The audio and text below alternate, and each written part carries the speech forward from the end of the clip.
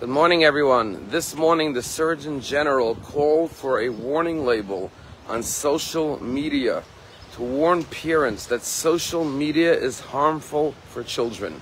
Studies show that children on average are spending four to five hours a day on social media and they usually feel worse about themselves afterwards than they did before.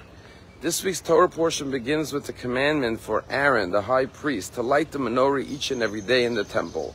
And Rashi asks, why does the commandment for Aaron to light the menorah follow yes last week's Torah portion, which was all about the dedication of the altar? After the Mishkan was erected for 12 consecutive days, the leaders, the princes of each tribe brought gifts in honor of the tabernacle. And after the 12 gifts, we read about Aaron. And Rashi answers that Aaron watched the way the 12 leaders of the tribes brought gifts, and he felt bad because he was left out.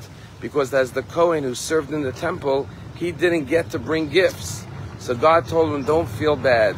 Your honor, your privilege, your role and responsibility is even higher and greater than theirs, because you will light the menorah each and every day in the temple. And the question is, how is lighting the menorah greater than the honor of bringing gifts?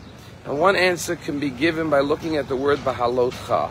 It doesn't say when you light the menorah. We all know on Hanukkah we say lahadlik ner, to light the candles of Hanukkah. When women light their candles Friday night, they say lahadlik, to kindle the flames of the Shabbat candles. Here the word is bahalotcha. Bahalotcha means when you raise up when you elevate the flames. What does it mean to elevate the flames? Because flames go upward. Why do flames go upward? Because as King Solomon says, they represent the soul of man. The candle of God is the soul of man. The body is lazy. The body gravitates towards earthly, mundane, physical pleasures and enjoyment. But the soul is like a candle. It's always striving to go higher, to connect to God, to spirituality, to meaning, to purpose.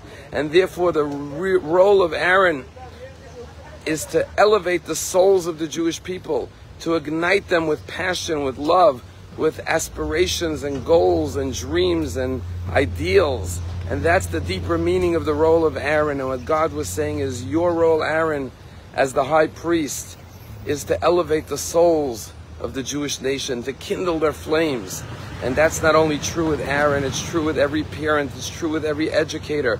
The role of every teacher and educator and parent is to ignite the souls of the children, that their flames should burn with passion, with love, with goals to strive to go heavenward towards lofty ideals and values, and not to just seek the physical and the mundane.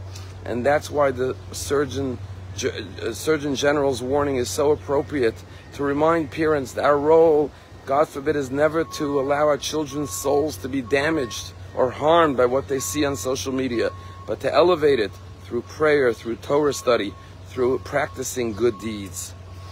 There was a rabbi in the south of Israel.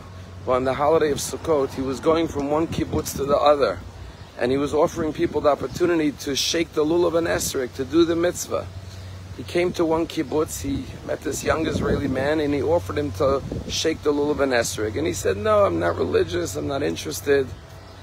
And he said, it's a mitzvah, it'll be wonderful, take a second.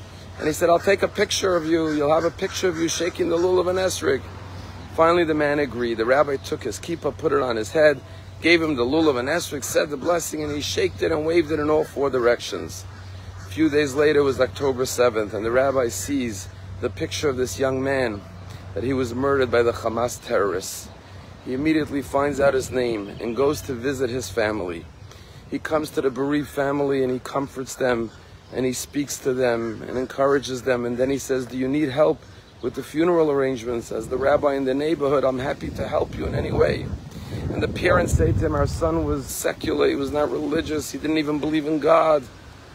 We don't need a rabbi, we don't need a religious ceremony.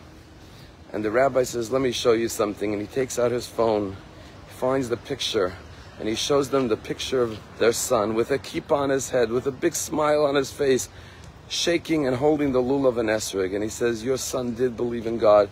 He was a proud Jew, and he should have a proper Jewish burial. When the parents saw that picture, which says a thousand words, of course they said, sure, we want to give our child a proper Jewish burial. Every Jew has a soul. Every human being has a soul.